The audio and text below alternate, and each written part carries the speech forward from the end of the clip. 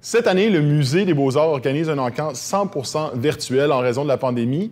C'est une super opportunité pour un philanthrope de faire non seulement un don au musée, de faire l'acquisition d'une œuvre, mais également de soutenir tout le milieu des arts, puisque le musée s'engage à non seulement payer les œuvres à la juste valeur marchande, mais de soutenir par le fait même les galeries et les artistes. Mon coup de cœur cette année, c'est définitivement l'œuvre de Caroline Monet. C'est une artiste que j'apprécie beaucoup, que j'ai découvert lors de la foire d'art actuelle à Québec il y a cela deux ans. Ce que j'aime dans le travail de Caroline, c'est vraiment qu'elle utilise des matériaux hyper contemporains sur lesquels elle appose des motifs traditionnels, mais pas faites à la main, faites de manière avec des procédés industriels, avec des nouvelles technologies euh, qui augmentent, c'est comme une couche supplémentaire de tension, de dualité dans son travail. C'est vraiment ça qui me parle. Ça me fait plaisir de supporter le travail de Caroline Monet, une artiste québécoise, puis par le fait même de supporter non seulement une institution montréalaise, mais également tout le milieu des arts, que ce soit à Montréal, au Québec ou au Canada.